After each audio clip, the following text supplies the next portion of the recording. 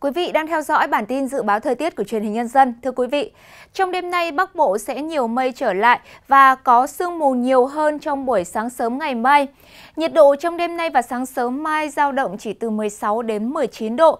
Chỉ riêng một số nơi ở vùng núi cao vẫn có nhiệt độ thấp dưới 13 độ nên trời vẫn rất rét.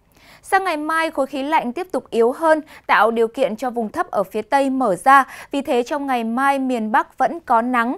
Về gần trưa và chiều thì trời có nắng ấm, với mức nhiệt trên các khu vực ở Bắc Bộ là từ 24 đến 27 độ. Trời chỉ rét về đêm và sáng.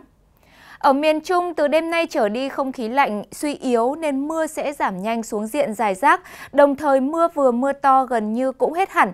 Còn sang đến ngày mai chỉ còn mưa vài nơi ở khu vực Quảng Trị và Thừa Thiên Huế.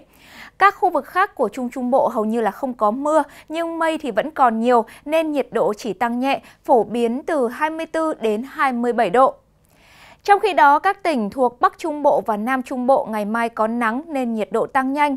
Khu vực Thanh Hóa đến Hà Tĩnh nhiệt độ từ 24 đến 25 độ, trời chỉ còn rét về đêm và sáng. Còn ở khu vực Bình Định trở vào thì nhiệt độ cao phổ biến từ 29 đến 32 độ. Khu vực có thời tiết ổn định và có nắng nhiều nhất trong đêm nay và ngày mai vẫn là các tỉnh thành phía Nam. Dự báo trong đêm nay mưa chỉ xuất hiện cục bộ ở các tỉnh thuộc miền Tây của Nam Bộ như tại Cần Thơ, Kiên Giang và Bạc Liêu nhưng lượng không đáng kể. Các khu vực khác thì đều không có mưa. Còn sang ngày mai thì cả Nam Bộ và Tây Nguyên đều có thời tiết tạnh giáo có nắng cả ngày. Nhiệt độ vì thế tiếp tục tăng nhẹ. Ở Tây Nguyên nhiệt độ trưa chiều mai sẽ là từ 28 đến 31 độ. Còn ở Nam Bộ nhiệt độ phổ biến ở ngưỡng 31 đến 34 độ.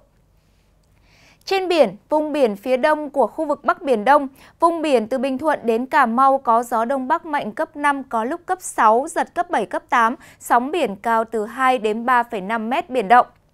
Ngoài ra, ở khu vực phía nam của giữa Biển Đông, khu vực Nam Biển Đông bao gồm vùng biển huyện đảo Trường Sa, vùng biển từ Bình Thuận đến Cà Mau và Vịnh Thái Lan có mưa rào và rông. Trong mưa rông có khả năng xảy ra lốc xoáy và gió giật mạnh cấp 7, cấp 8. Và sau đây là dự báo thời tiết chi tiết vào ngày mai tại các tỉnh, thành phố trên cả nước.